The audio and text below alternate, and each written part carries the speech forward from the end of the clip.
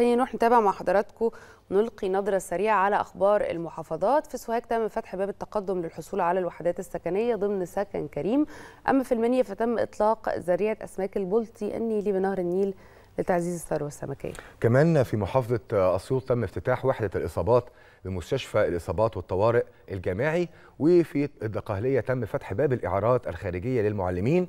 تفاصيل أكتر من محافظات مصر المختلفة هنعرفها في سياق التقرير اللي جاي.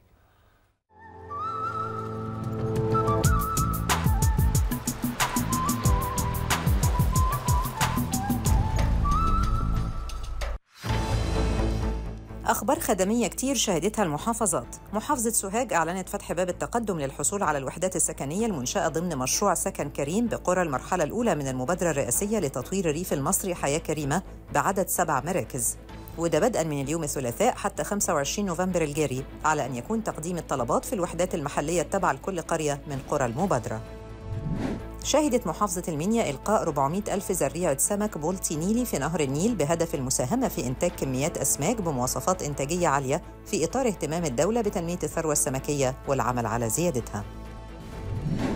افتتحت جامعة أسيوط وحدة الإصابات بمستشفى الإصابات والطوارئ بجامعة أسيوط ضمن عمليات التطوير والتحديث الشاملة اللي بتشهدها مستشفيات جامعة أسيوط وفي إطار الخطة الاستراتيجية لدعم وتطوير المستشفيات الجامعية بما يسهم في النهوض بالمنظومة الصحية والارتقاء بمستوى الخدمات الطبية المقدمة للمواطنين.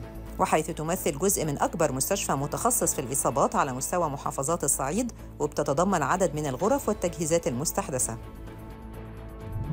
في الدقهلية أعلنت إدارة الإعارات الخارجية بمديرية التربية والتعليم فتح باب التقديم للإعارات الخارجية لجميع التخصصات للعام الدراسي 2025-2026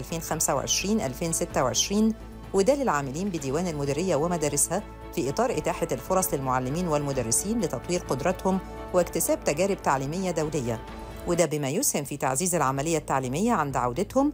بيتم تلقي الطلبات حتى 30 يناير 2025 بمقر إدارة الإعارات الخارجية بالمدرسة. شهدت محافظة كفر الشيخ تنظيم احتفالية العيد القومي للمحافظة بمناسبة الذكرى 68 للانتصار في معركة البرولوس البحرية 4 نوفمبر 1956 تكريما للشهداء اللي ضحوا بحياتهم دفاعا عن الوطن وده بمدينة برج البرولوس. وتضمنت وضع إكليل الزهور على النصب التذكاري لمعركة البرولوس البحرية وغرس أول نخلة بجوار النصب التذكاري.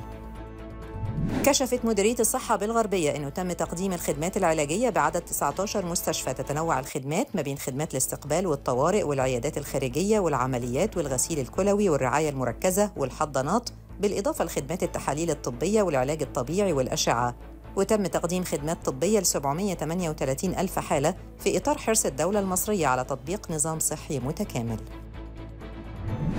أعلنت مديرية الشؤون الصحية بمطروح تنظيم قافلة طبية متكاملة في مدينة السلوم غدا الأربعاء بتضم مختلف التخصصات الطبية وصرف الأدوية بالمجان ضمن خدماتها المتنوعة في جميع أنحاء المحافظة وفي إطار تنفيذ المبادرة الرئاسية بداية جديدة لبناء الإنسان. في الأقصر أعلنت إدارة العقود والمشتريات بديوان محافظة الأقصر طرح عدد من المزايدات لتأجير المجمعات الصناعية الحرفية في قرى إسنا وأرمنت عبر جلسات تحدد موعدها وشروط متنوعة وبتقدم المستندات المبينة بكراسات الشروط للمزايدة. ويجب على المتقدمين تسجيل بياناتها على موقع بوابة التعاقدات العامة ويمكن الاطلاع والحصول على نسخة من كراسة الشروط والمواصفات من هذا الموقع.